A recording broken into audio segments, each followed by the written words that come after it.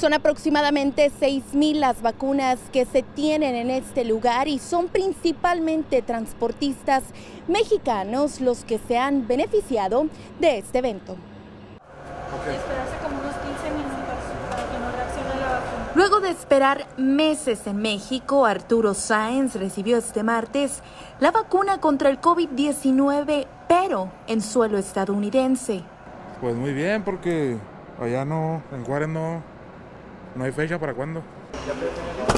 Con el brazo listo, Misael Rosales también esperaba para recibir el ansiado antídoto. Ambos son transportistas mexicanos. Bueno, es una experiencia que pues debemos de tener cada uno de nosotros para poder este, aplicarnos la, la vacuna y así mismo pues este, seguir adelante con nuestra vida.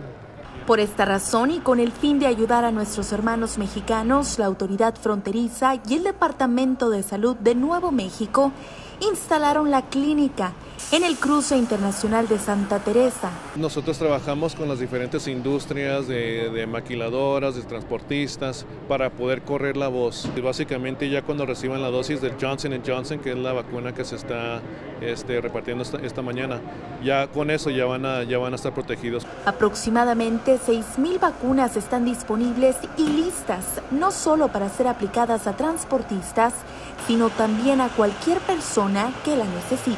No tienen que ser residentes de Nuevo México, no tienen que ser residentes de Estados Unidos, pero sí tienen que poder cruzar la frontera, así que tiene que ser un, para ser mexicano eh, y cruzar, llegar a este evento, tiene que ser una persona considerada un trabajador esencial. El evento continuará hasta este próximo 17 de junio de 6 de la mañana a 1 de la tarde y la dirección es el 6910 de la avenida Binacional. Para Noticias Univisión, Dalinda García, más tiempo contigo.